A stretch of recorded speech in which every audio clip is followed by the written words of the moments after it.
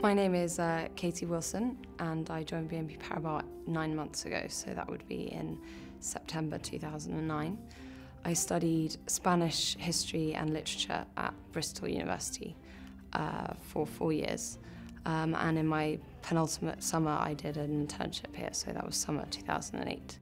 Debt capital markets is, is client coverage uh, of, in the primary sector. So you are, you are monitoring the market and advising clients when and how to issue bonds, and then executing those transactions. Within debt capital markets, there are, there are two areas, and you either cover corporates or financials. I personally cover financials, which means banks or insurance companies. I'm Nordics in UK, which means uh, Denmark, Norway, Sweden, and uh, Finland, uh, and also UK and Ireland.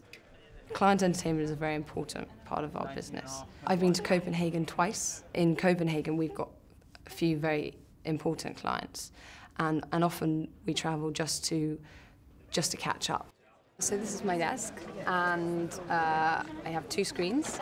Uh, a lot of people have two, some have three, traders have eight. it's a pretty interesting environment to work in. It's never quiet, it's always interesting. Uh, there's always people shouting and uh, getting overexcited about trades and things, so it's buzzing, it's, it's an interesting place to be. An office which lacks atmosphere would would bore me.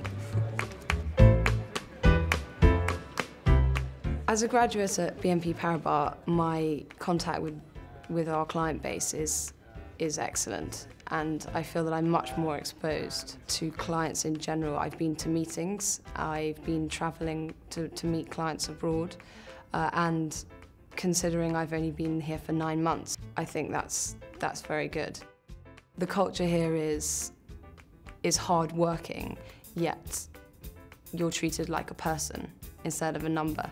And you're exposed very early on to managers, to clients, if that's relevant to your business area. And people are very willing to help and to hear you and to answer questions.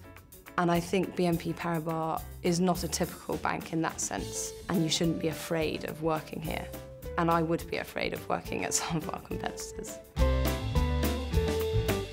When I walk in in the morning, I feel excited and proud to be a part of such a growing, exciting global business.